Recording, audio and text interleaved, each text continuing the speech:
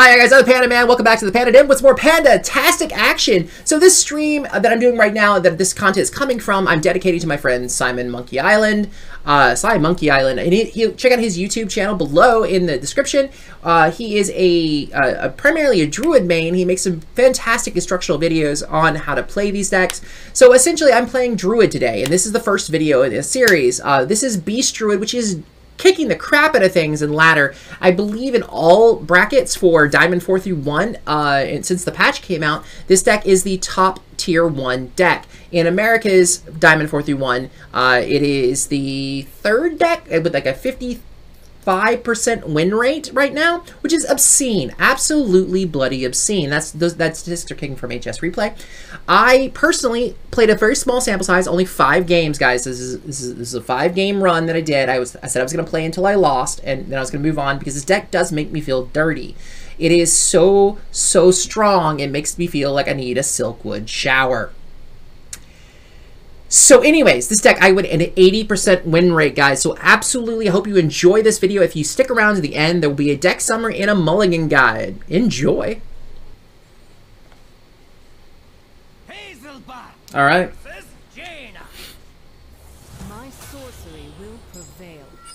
I don't know what the mulligan is on this deck at all. Uh, I probably could have looked up a mulligan guide.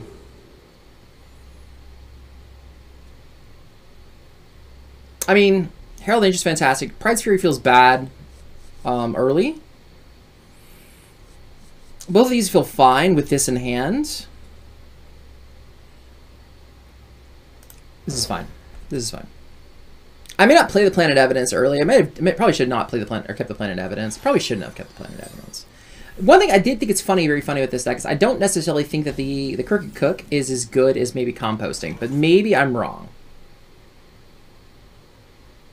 You always keep Herald, right? Especially if you have any kind of, um, what do you call it, in your hand. Any kind of nature spell in your hand. Because the thing I mean, when I first played this card, when it first came out, I, I, I thought that you, it was, uh, if you had one in your hand, A, and then I was like, okay, I, I didn't realize, I thought I had to cast it the same turn. Nope, none of that. It The deck, the card is so good. I just, I just push this button like this. Yorp! And it's it's already online. That's it. That's all you gotta do. I cast Thorngrowth Sentries, Nature Spell. This is now online. Yeah, I just I just goofed. I was like, there's there's it, honestly, I think I think I, I thought it was just there's no way it was that good of a card. It's that good of a card. Okay, so I don't have a lot of minions yet, so this is probably not yet where I want to do. Uh, Planted Evidence is turn first.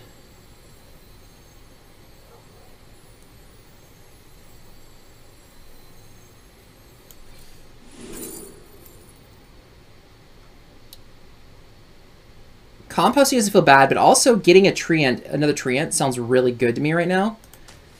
Uh, because we need to build a board here. I mean, that's kind of what we're, the old goal here, right? But do I do this of the jerry rig.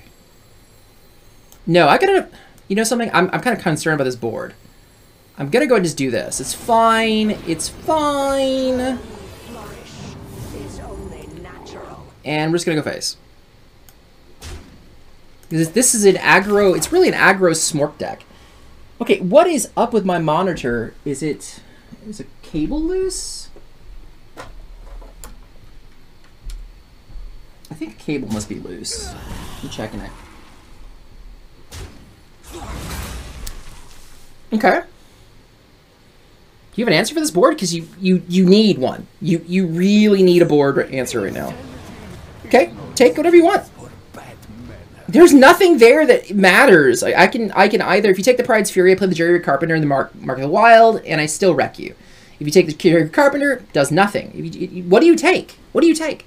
Crap, almost anything you give me is probably better than what you're taking. Not that, yeah, so I mean, this is fine. I, this is perfectly fine. Okay, um...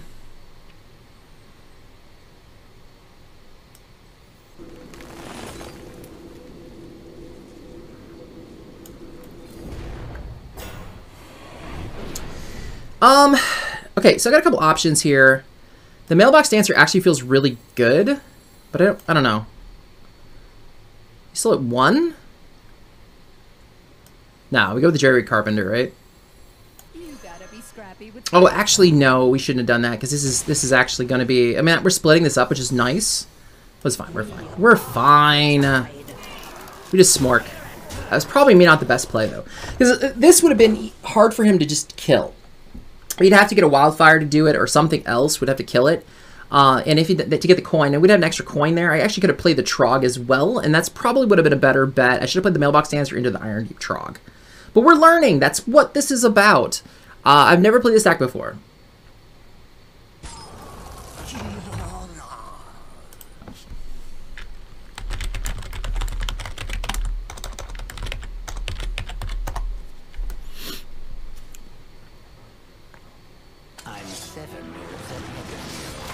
Okay. What do you what do you cancel here? I don't really know what you cancel. I have five mana. I can play everything in my hand.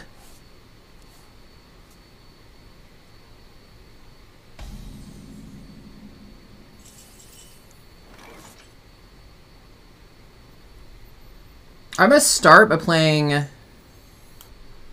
No, I'm gonna start playing the new growth. Okay, I'm gonna try to try to pop this guy off. Okay, that's fine. That's fine. It's fine. It's fine. We're gonna play the Trogg. We're gonna play the Sentries, and then we're gonna fertilize them. And then we just go face. And he's at five. How do you how do you address this, dude? How do you address this?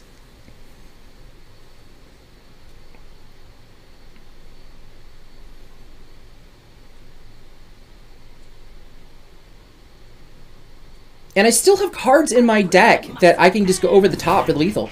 I have no spells, dude! Oh, I'm so sorry, Dark Mark Wahlberg. Feels bad, dude. Feels so bad for him. Yep. Sorry, dude. There's nothing you could do there. I'm so sorry. I really do feel bad.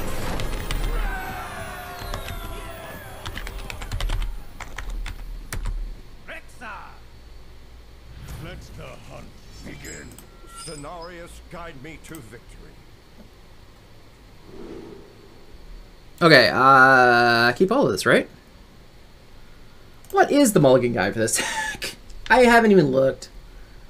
Alright, we're looking at this deck. Uh, we're looking at mulligans.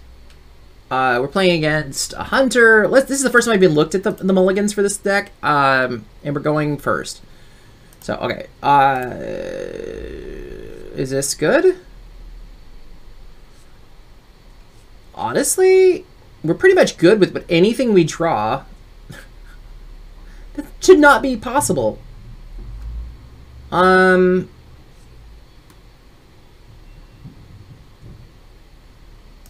I'll toss the... I'm gonna toss the Druid of the Reef. Because there's other ones we want more. I don't need more than one turn one card at this moment. Okay. We don't need to play the Crooked Cook. The Crooked Cook just, I don't know why, it just doesn't feel as good. I mean, it's still, dude, okay, it's 67% across the board. That's fine. Um, maybe, now that he's played the 1-1, I'm gonna play, I'm actually gonna play the Crooked Cook. It's not gonna do, it's not, we're not gonna get any real benefit off of it this turn.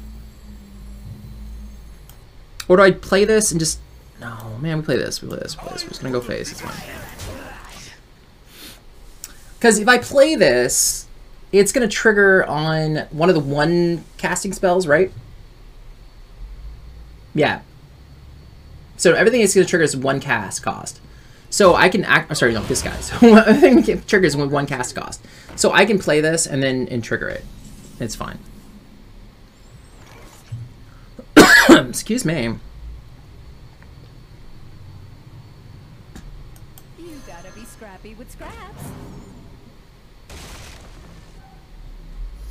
And we're just making a baby.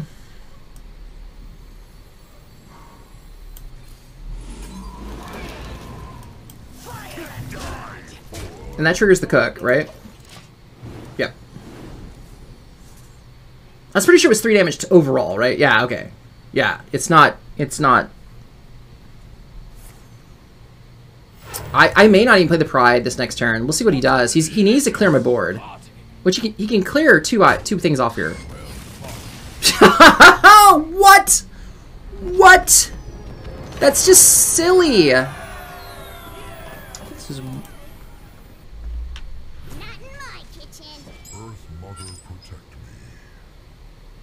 Um, Planet Evans is not bad. Uh, I can do this on turn two. This is fine. This this is not a great opening turn play.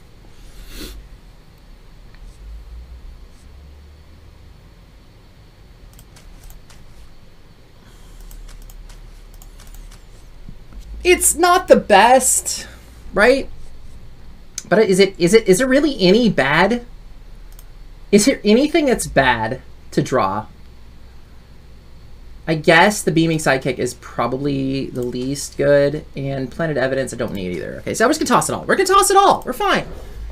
Deck is so so cheap. Everything there's nothing. There's like there's four cards that are that are high, greater than two cost. We're gonna get a one drop.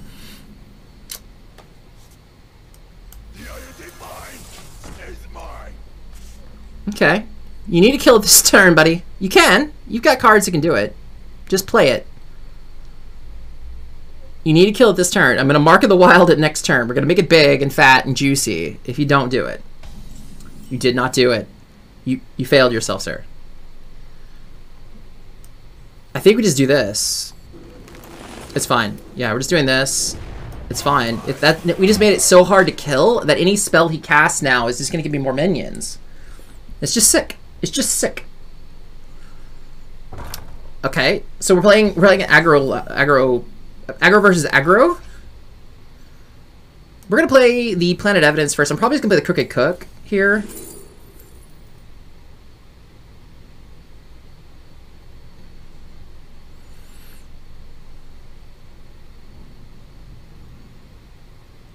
Now we're gonna do this. We're gonna take the Soul of Forest. I'm not gonna play it this turn.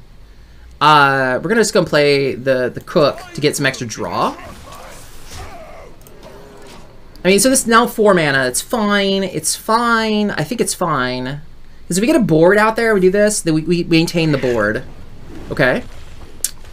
Yeah, you're just giving me dudes, dude. okay. Oh my god. Really? This is nature, right? Just double checking. I'm gonna double check. That's nature, right?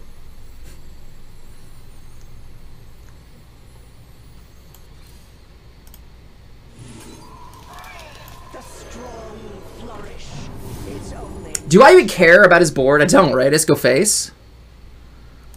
Yeah, just go face.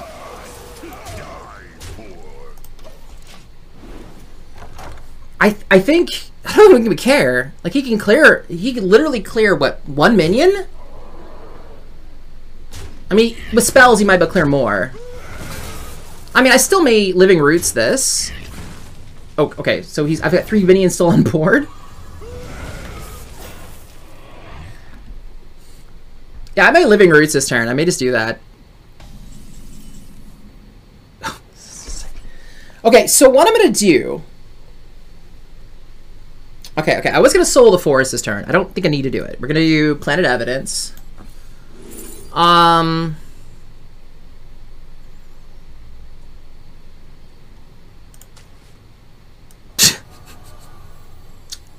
yes, this is happening. That that's happening, guys.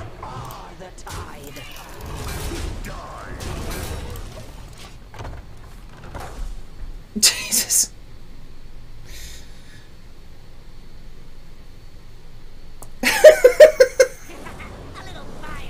I don't think it matters, dude. I have 12 on board. I got two more in hand. You can't... What do you, what do you do? You can clear one of my dudes. You have to clear one of my dudes. You have to. You have to clear at least one of my dudes. You can do it. You absolutely can. I have lethal if you don't. Okay, that's fine. I don't care. Don't care. Good job. Good job. You did a good job there. Um...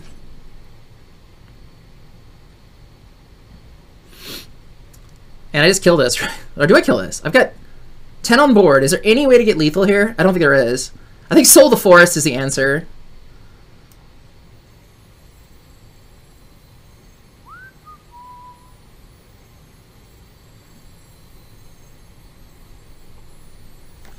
Okay, I'm gonna do... Yeah, we're Soul the Foresting this turn. My blood boils for war. Hey, I'm just gonna make that harder to, to remove.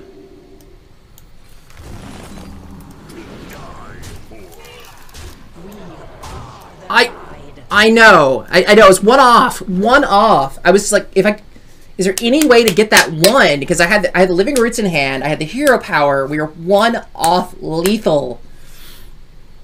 So really, all I need is for something to stick. Just one creature to stick. And with with the soul of the forest, I'm not sure he has. I, I still, I think I have lethal next turn. I'm pretty sure I do. Okay, you removed a guy. Congratulations.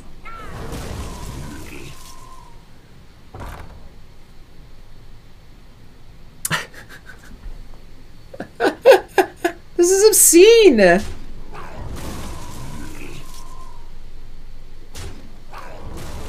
Why didn't you use your power first? Oh, okay, okay. No, I still want to use my power first. No, no excuse. these books are ruined. Okay. I, you lose. this deck is obscene!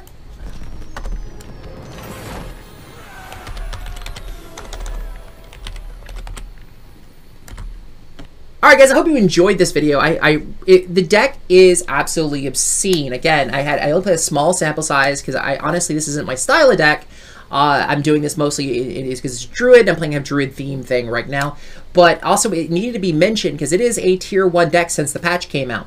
This deck is absolutely obscene. I, I had a five sam five game sample size with 80% win rate, as I mentioned in the beginning of the video, uh, and it's it's just I, the only thing I ever had any problems with, and I think the only you're gonna have problems with, which again, it's not even a guaranteed loss, but the only deck I had any problems with was Ping Mage, Spooky Mage.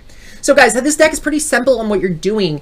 Uh, you're essentially just trying to basically tempo out a bunch of stuff as fast as possible. So uh, the mulligans are generally what you're looking for is things like Irondeep Troggs, Druid of the Reefs, you're looking for Peasants. Uh, again, if you're playing against Demon Hunter or Mage, you might not want to play a Peasant. You might you can play the Peasant on against Mage if you are going first because it'll force him to coin to ping your dude. Otherwise, you're looking also Slitherspears, uh, the, the concept is you basically just want to vomit out all these little one drops. So you put these little one drops on the table because if you'll notice, there are only four cards that cost more than two mana in the entire deck. And that's the Herald of Nature and the Pride's Fury, which we'll get to in a second. The deck then has only eight, count them, eight cards. Eight. That's 12 cards this deck are over the cost of one. What? What? Right, like 2, 4, 6, 8, 10, 12. Yes, that's ridiculous. Everything else is a 1 drop or 0 drop. There's 16 1 drop cards in this deck.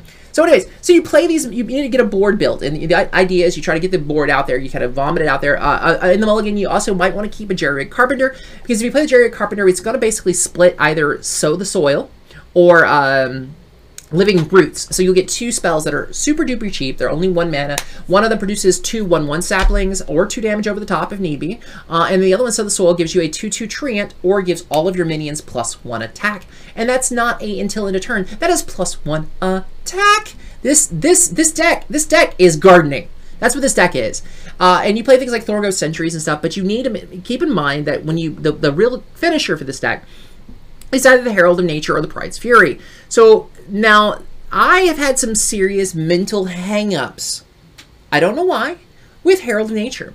When it very first came out, I, for some reason, thought you had to have a nature spell in hand when you cast it because I just didn't read the card. And I did read the card. I did. It just for some reason my brain just didn't accept that it's actually the way it's how it's, it's written. So what you have to do is you, this card has to be in your hand and you have to play a nature spell, any nature spell. Now, so in the nature in the, the realm of nature spells, you've got the Thorngrowth Sentries, you've got the Marks of the Wild, you've got your your uh, again the Sow the Soil or the the uh, Planted Evidence or Living Roots.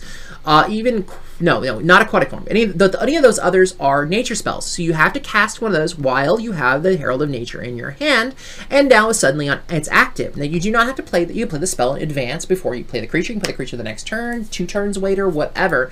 Because you want to play this when you've got at least two or three creatures, or probably three or more creatures on the board. You play it, you give everybody plus one, plus two, and basically slap, slap, slap, slap, slappy, slap, slap, slap to the face. Uh, outside of that, you've got the Pride's Fury. Pride's Fury is basically like a buffed up version of Herald Nature. Now, Herald Nature's got some advantages. A couple advantages to it is the fact that you're also placing a 3-3 body on the board. It does not get its own buff, but that's okay. Uh, the Pride's Fury, unfortunately, I do need to point this out because this is something I made a mistake on. You're not going to see it in the video. Uh, I don't think did I I don't remember if it was in the video or not. You, you may have seen it already. But the Pride's Fury is not a nature spell. Neither is aquatic form. So neither one of these are going to trigger the Herald of Nature. Keep that in mind.